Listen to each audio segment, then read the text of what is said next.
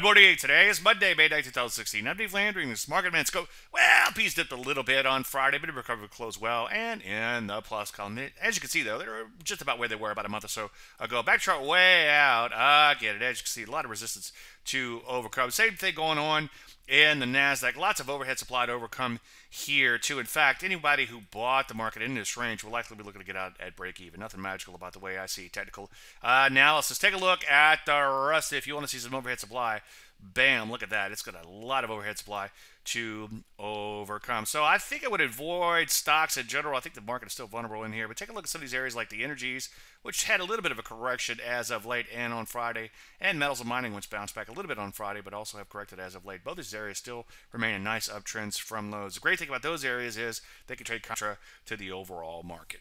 Any questions? As usual, dave at davelandry.com. I'm Dave Landry, and you start a market minute.